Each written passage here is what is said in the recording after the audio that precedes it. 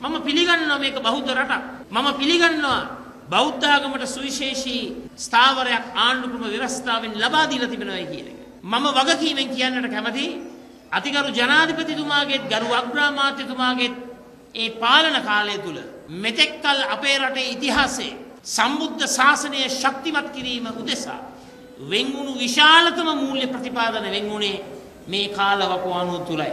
මධ්‍යම සංස්කෘතික අරමුදලේ මගේ අමාත්‍යංශයේ පිහිටා තිබෙනේ අරමුදල තුලින් අපි සුවිශාල වූ වැඩසටහන් රැසක් ආගමික සිද්ධස්ථාන ගොඩනගන්නට සම්බුද්ධ ශාසනය රැකගන්නට සම්බුද්ධ ශාසනය ආරක්ෂා කරන්නට අපි ක්‍රියාත්මක කරමින් සිටිනවා. මගේ බලාපොරොත්තුව පස් අවුරුදු විහාරස්ථාන සංවර්ධන සැලැස්මක් විස්සයි විස්සේ සිට විස්සයි විසිපහ දක්වා නිර්මාණය කරලා විවිධ දුර්ලතා මැද්දේ ක්‍රියාත්මක වෙන විහාරස්ථාන පද්ධතියම අපි ගොඩගන්නට කටයුතු කරනවා කියන එක මම මේ අවස්ථාවේ ඉතාමත්ම සතුටින් ප්‍රකාශ කර සිටිනවා.